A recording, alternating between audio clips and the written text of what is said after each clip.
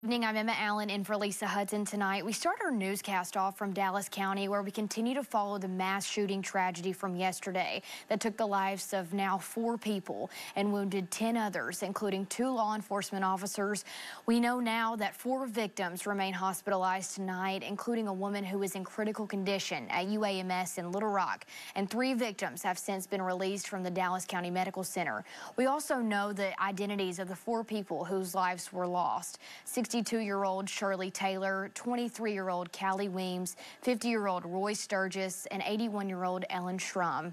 We told you in our 10 p.m. newscast on Friday that 44-year-old Travis Posey was arrested and charged with four counts of capital murder. We know now that Posey could face additional charges. He has since been treated for non-life-threatening injuries and was taken to the Ouachita County Detention Center.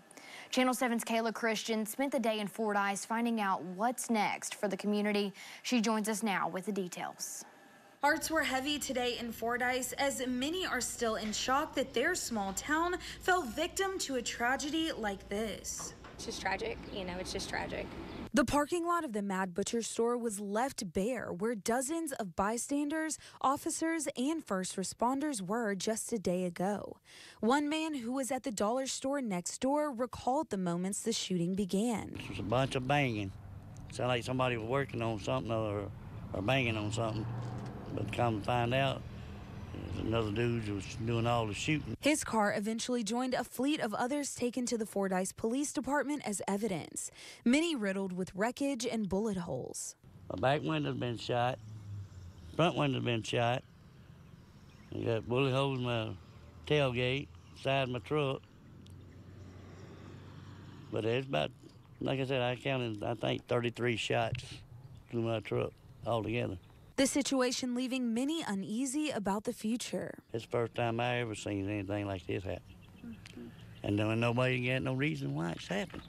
The shooting that claimed the lives of four and injured multiple others has already affected many in the community. Now, with mental health facilities offering free services to those in need. We're available for, for the people in our community. Um, we want to make sure that they get the assistance and the help that they need. A lot of these traumatic experiences can can um, you know be very devastating and potentially cause um, some mental illness that you know needs to be addressed. Not only providing a safe space, but take-home resources for families and individuals as well. With mental illness, it can come with a lot of different signs and symptoms. So one of the big things we're doing here is we're also educating on, on things to look for um, days to come and weeks to come. Uh, we want to make sure our, our patients and communities aware of, of what to watch for with mental illness. Now, the city is quiet as they reflect on where they've been and where they're going, with multiple signs requesting prayers for Fordyce. We want to love on people. We want to be available for people. We want to um, provide support for our community. Um, I think that when people are hurting, that's that's the time where we come together and we take care of one another. And Fordyce does that so well. I feel confident that Fordyce will be able to come together and really love on each other and take care of each other during this this tough time. I'm praying for Fordyce everything gets all right. The Dallas County Medical Center Stepping Stones facility will be providing their services through Monday, as well as more free counseling at the Fordyce High School. The Point Outpatient Services in Fordyce will also be welcoming the community among other agencies. On your side, I'm Kayla Christian.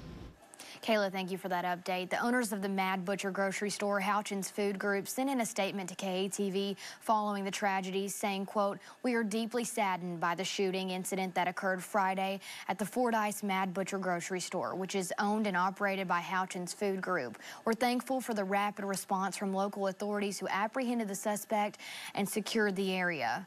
Corporate and store officials are fully cooperating with law enforcement during the investigation. The store will remain closed until the investigation concludes.